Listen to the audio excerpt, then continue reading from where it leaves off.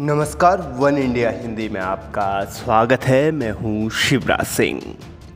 देश में corona virus का कहर जारी है। तीसरी लहर की आशंका के बीच कोरोना के दैनिक मामलों में एक बार फिर से इजाफा होने लगा है, जिसने चिंता बढ़ा दी है। केंद्रीय स्वास्थ्य मंत्रालय की ओर से शनिवार सुबह जारी ताज़ा आंकड़ों के मुताबिक पिछले 24 घंटों में देश में कोरोना वायरस के छियालीस नए मामले सामने आए हैं, जबकि इस दौरान 509 मरीजों ने जान गंवाई है। ये लगातार तीसरा दिन है जब देश में चालीस हज़ार से ज़्यादा केस दर्ज किए गए हैं। इससे पहले शुक्रवार को चवालीस और गुरुवार को छियालीस मामले रिपोर्ट किए गए थे। नए मामलों के बाद देश में कोरोना वायरस के कुल मामले बढ़कर तीन करोड़ छब्बीस लाख उनचास हज़ार नौ सौ सैंतालीस पहुँच गए हैं। इसमें से अब तक चार लाख सैंतीस हज़ार तीन सौ सत्तर लोगों की मौत हो चुकी है।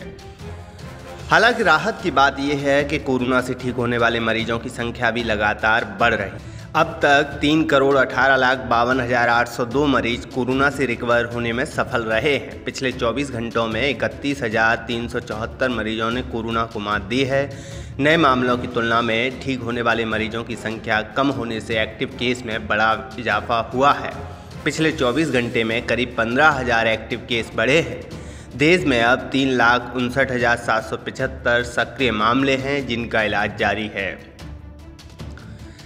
देश भर में कोरोना मामले बढ़ने का मुख्य कारण केरल है। केरल में कोरोना संक्रमण बेकाबू होता दिख रहा है। केरल में पिछले तीन दिन से लगातार तीस हज़ार से ज़्यादा केस दर्ज किए जा रहे हैं। शुक्रवार को यहाँ बीते 24 घंटों में बत्तीस हज़ार आठ सौ एक नए मामले सामने आए हैं, जबकि इस दौरान एक मरीजों की मौत हुई है।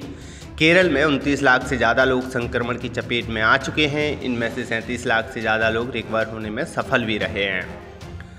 वहीं महाराष्ट्र में शुक्रवार को बीते 24 घंटों में चार हज़ार छः सौ चौवन नए संक्रमितों की पुष्टि हुई है। इस दौरान 170 मरीजों ने इलाज के दौरान दम तोड़ा है। इसी तरह से तमिलनाडु में बीते दिन 1542 नए संक्रमित दर्ज किए गए, जबकि 21 मरीजों की मौत हो गई। कर्नाटक में शुक्रवार को 1301 नए मामले रिपोर्ट किए गए, जबकि इस दौरान 17 लोगों ने जान गंवा दी। आंध्र प्रदेश में बीते दिन एक हज़ार पाँच सौ पंद्रह नए कोरोना मरीज़ रिपोर्ट किए गए, जबकि दस मरीजों ने दम तोड़ दिया। इसके अलावा हिमाचल प्रदेश एक सौ छियासी और दिल्ली में शुक्रवार को छियालीस नए कोरोना मरीज़ रिपोर्ट किए गए। वहीं कोरोना के खिलाफ देश में टीकाकरण अभियान भी जारी है। शुक्रवार को देश में रिकॉर्ड एक करोड़ से ज़्यादा टीके लगाए गए। देश में अब तक बासठ करोड़ से ज़्यादा वैक्सीन की डोज लगाई जा चुकी हैं। इस खबर में फ़िलहाल इतना ही। तमाम अपडेट के लिए बने रहिए।